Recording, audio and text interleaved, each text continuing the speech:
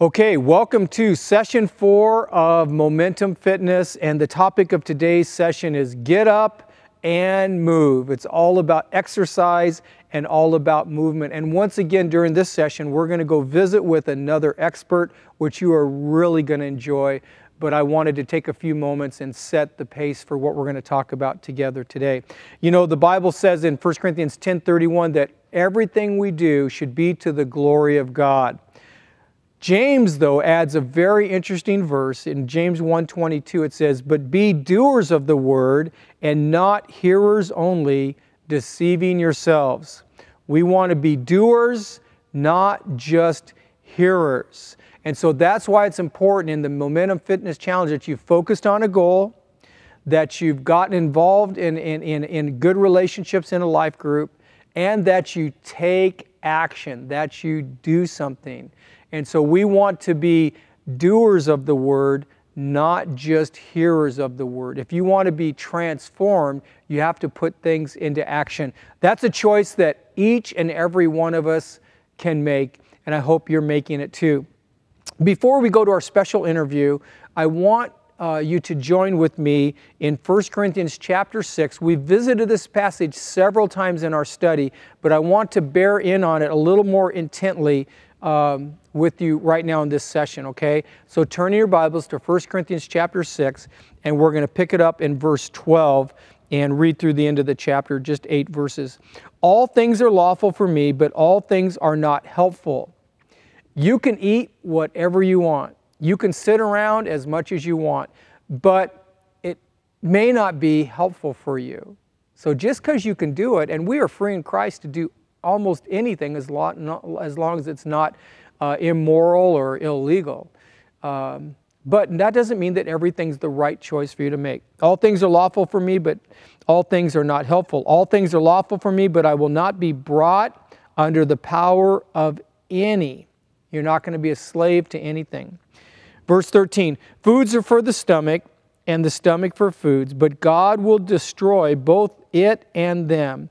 Now, the body is not meant for sexual immor- immorality, but for the Lord, and the Lord for the body. Verse 14 God both raised up the Lord and will also raise us up by his power. Verse 15 Do you not know that your bodies are members of Christ? Shall I then make shall I then take the members of Christ and make them members of a harlot? Certainly not. Or do you not know that he who is joined to a harlot is one body with him, with her? For the two, he says, shall become one flesh. One of the first things you want to know as we read that passage of scripture is that your body, all of you, is connected to the rest of the body of Christ. And when we make poor decisions, and, and in this passage of Scripture, it's talking specifically about making immoral decisions, when we do that, it not only affects us, but it affects other people also. It affects the rest of the body of Christ. When we make poor decisions about our health, it affects other people, which some of you guys know that firsthand. Some of you have watched somebody that you love uh, get sick and really suffer as a part of really poor decisions that they've made. So, what we do makes a difference, and we're all connected in the body of Christ. Let's press on. Verse 17. But he who is joined to the Lord is one spirit with him. Let's be joined to Christ. Here's a pretty strong verse in verse 18. Flee sexual immorality. Every sin that a man does is outside of his body, but he who commits sexual immorality sins against his own body. There's, there's one thing that certainly we don't talk about much in our culture, but sexual immorality is actually a violation of how you're created in God. God has better things for you, He has a better way. Turn to the person next to you and say, God's ways are always better. Just go ahead and tell them right now. God's ways are always better. Let's go to verse 19. Or do you not know that your body is the temple of the Holy Spirit who is in you, whom you have from God, and you are not your own? The second point I want to remind you about today is that the Holy Spirit lives in your body, that the Holy Spirit is the one who owns it. And because your body is a temple, it belongs to God, let's take care of it. I think we visited that in one of our sessions pretty intimately. But let's take care of it. Let's, let's have it function in the right way. Let's fill it up with the right things and let's take care of the body. So, uh, it is the dwelling place of God, and so we want to be free, uh, energetic, enthusiastic in order to live our life for God the way that He wants us to. And then the final verse in verse 20 says, For you were bought at a price. Therefore, glorify God in your body and in your spirit, which are God's. Jesus bought your body on the cross. When, you, when He gave you salvation, He took over ownership of your life as well. And I'm so glad for me that He did. Man, I know that given to my own ways, my life would be a disaster. Uh, I would be on my own.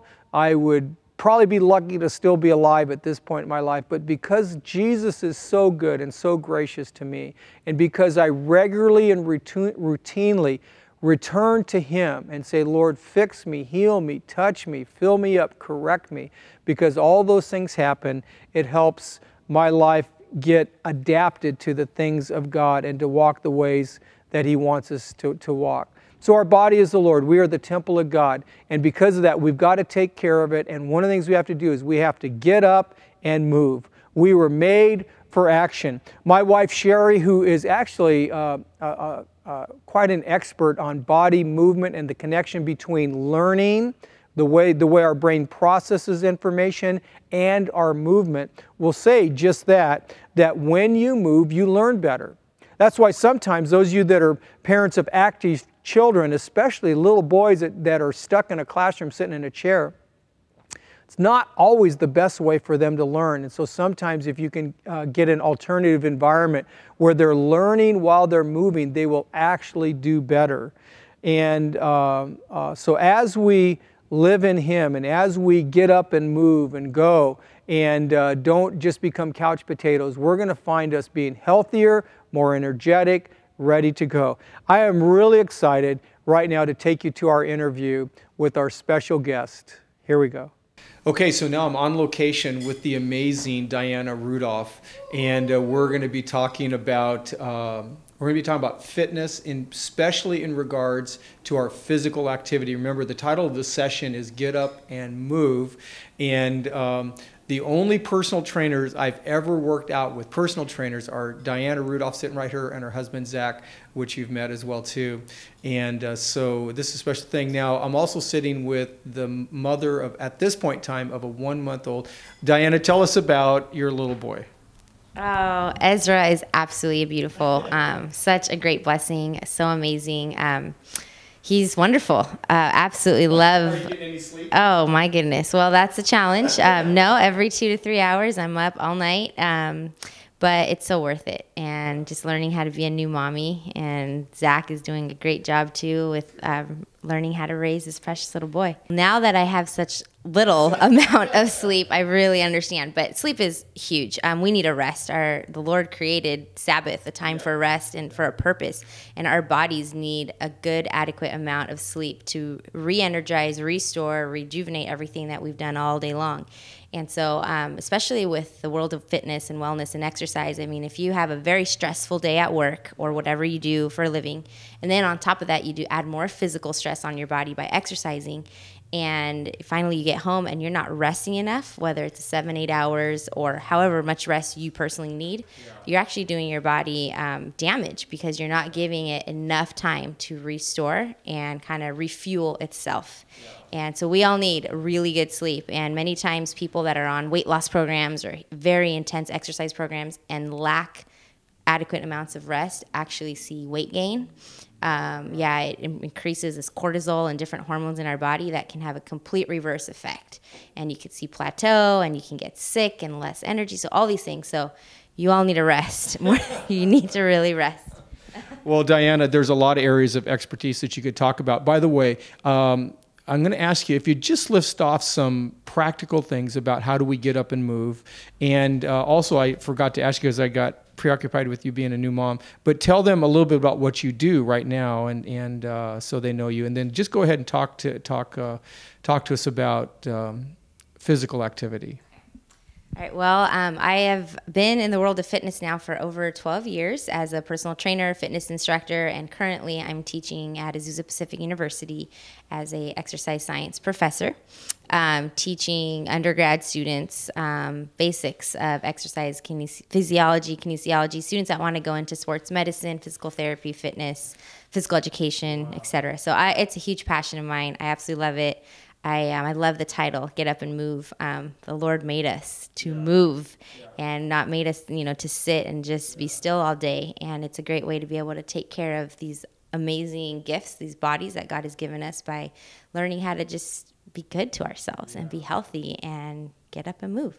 well, many times people have this misconception that exercise needs to be so complicated or you need fancy equipment and you need to go to the best gym or or I just don't know what to do so I'm not going to exercise because I don't know how to use those machines. And I always like to tell people whatever fitness level you're at, keep it simple. Um, we have two legs, many of us, and we can get out and go walk. Right. And walking can do wonders things for your body and for your overall health from your flexibility and your posture. And it's so simple. You don't need a gym. You don't need to, you know, belong to some kind of club to go walking.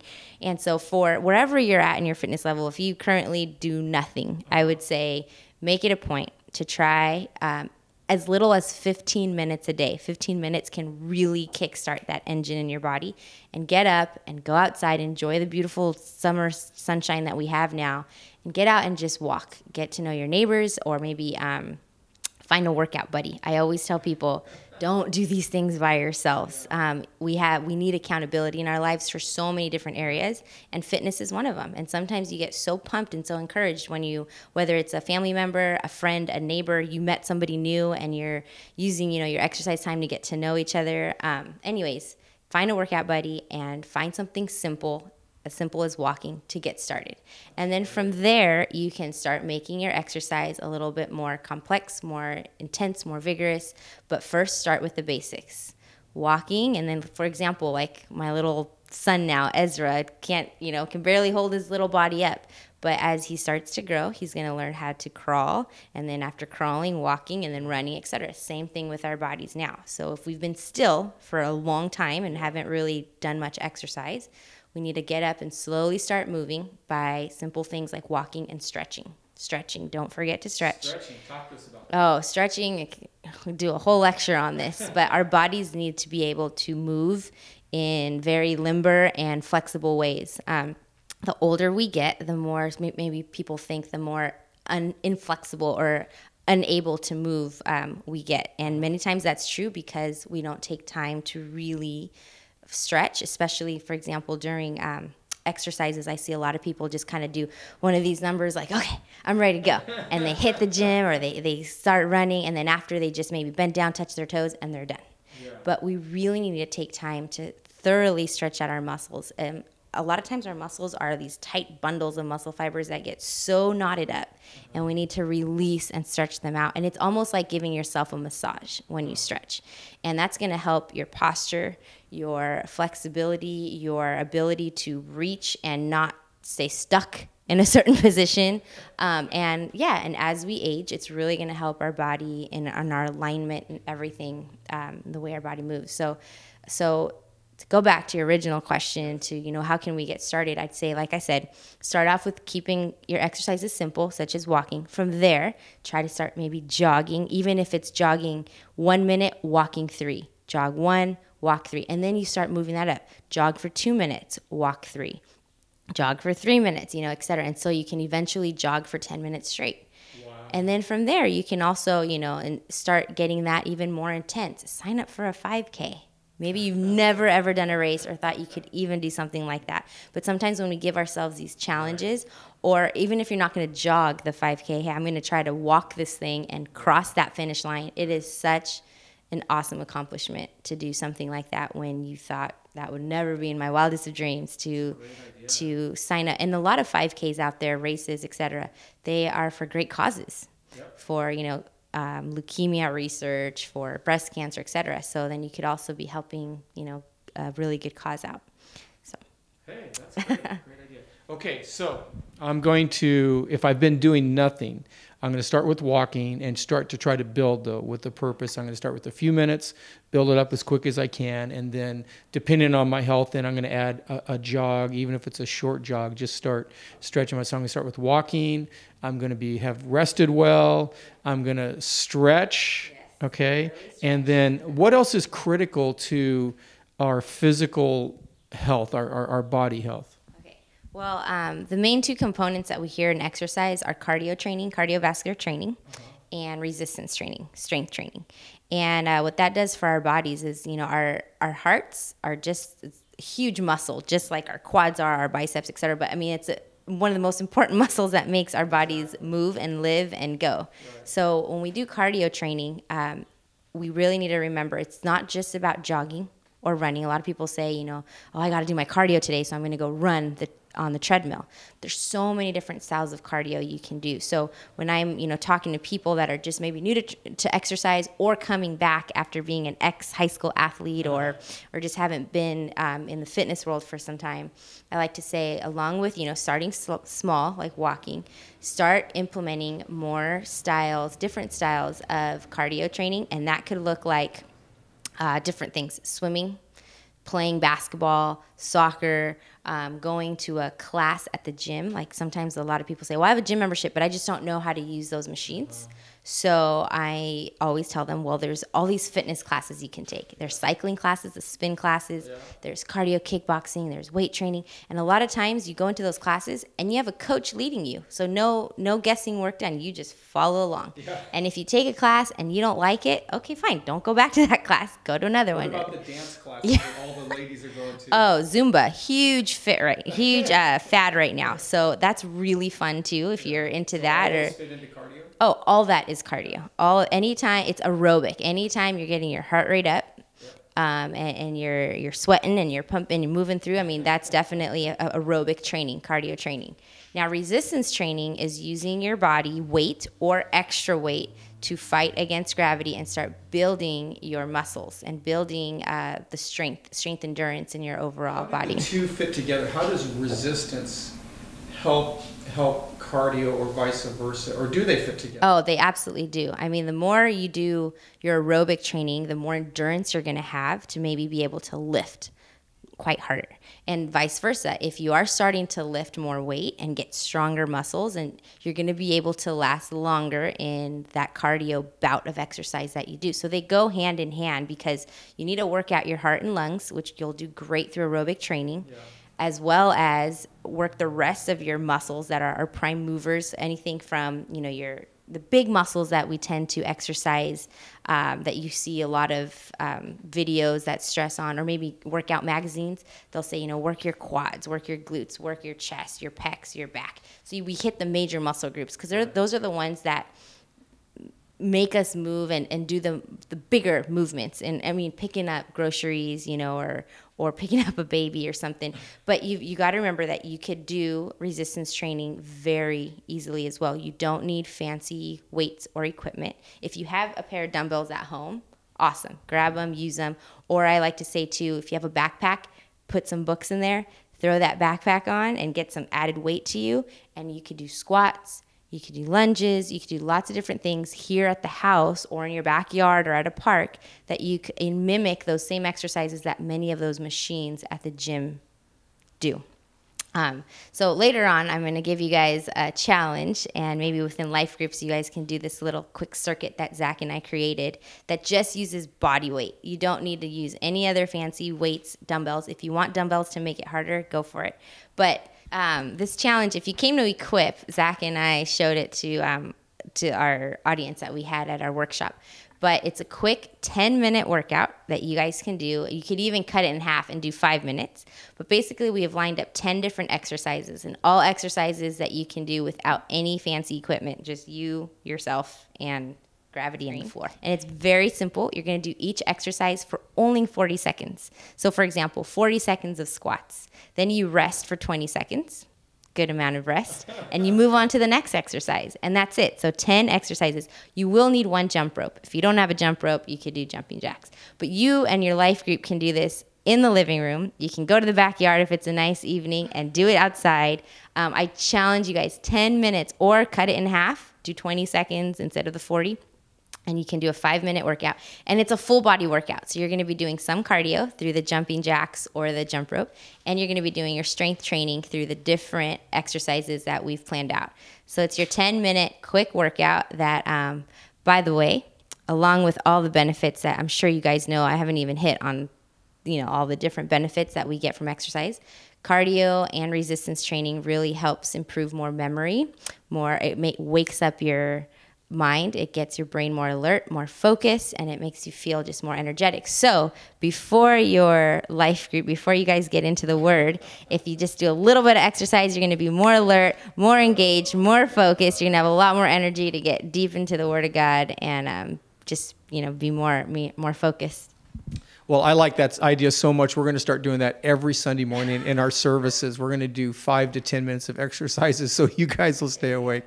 All right. I hope you've uh, uh, benefited from this time. And, and, Diana, thank you so much. I know you're a busy mom now and a uh, professor and all kinds of things and a wonderful wife. And But thank you so much, and to your husband as well, too, for allowing, making this happen today. Thanks. Well, thanks so much. Man, I can't even tell you what a blessing that was.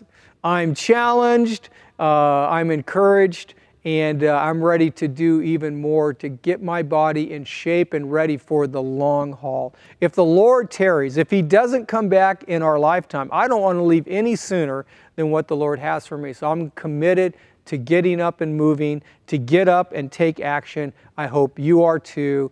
Thanks so much for joining us again at Momentum Fitness.